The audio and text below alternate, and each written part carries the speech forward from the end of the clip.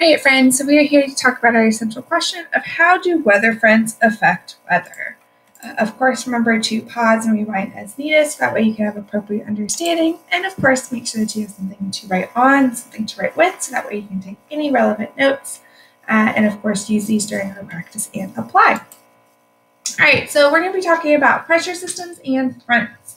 Um, so just to kind of remind ourselves, remember low pressure is when I have lower air pressure. Remember we can measure that air pressure with which weather tool? Yes, that weather tool is the barometer.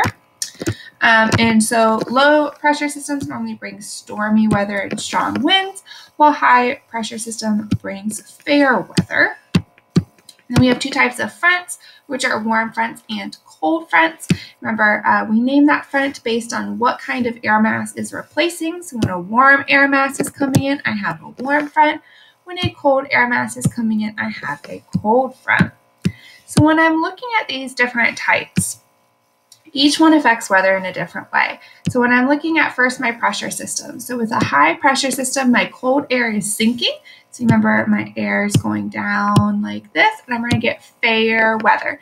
Remember we talked about high pressure, my thumb would be going up to show high, just like a thumbs up. And so it's nice weather, thumbs up, high pressure, fair weather. With low pressure, my warm air is going up and so I'm going to have low pressure, which is bad or stormy weather. Again, my thumb would be going down to show that it's low, thumbs down, bad weather.